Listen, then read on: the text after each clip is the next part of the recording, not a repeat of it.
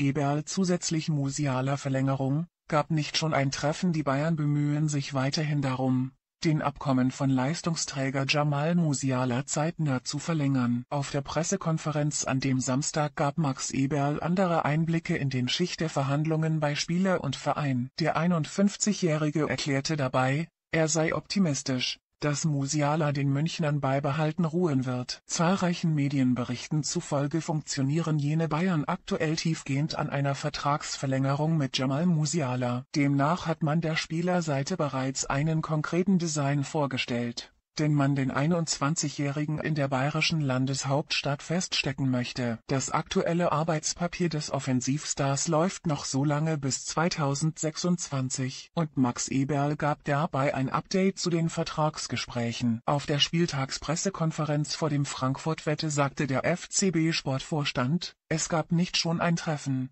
man spricht immer wieder, es entsteht an diesem Punkt aufrecht etwas und dasjenige merkt Jamal wenn schon. Ich habe eine große Zuversicht. Er ist ein außergewöhnlicher Spieler. Darüber hinaus dem Josh und dem einen oder anderen weiteren soll er ein Flunsch von Bayern werden. Sehe keinen Grund, Warum Musiala Bayern trostlos sollte Eberl führte weiter aus, das haben wir dem Spieler gesagt. Und jetzt schaut man, denn man zusammenkommt. Ich bin Optimist und sehe keinen Grund, Warum er Bayern trostlos sollte. Medienberichten zufolge erhebt Musiala aktuell nicht den Anspruch, der Topverdiener in dem Kader des deutschen Rekordmeisters zu werden. Angeblich wollen jene Münchner den Deal mit Musiala noch in dem Dezember finalisieren, weil im weiteren Verlauf wenn schon einen besseren Schicht in den Verhandlungen mit Florian Wirtz zu haben. Den Leverkusener Leistungsträger will man aller Voraussicht nach in dem kommenden Jahr an jene Isar holen. Unter Vincent Kompany hat der deutsche Nationalspieler schnell eine Schlüsselrolle eingenommen. Er verzeichnet in der laufenden Spielzeit in acht Partien sechs Torbeteiligungen,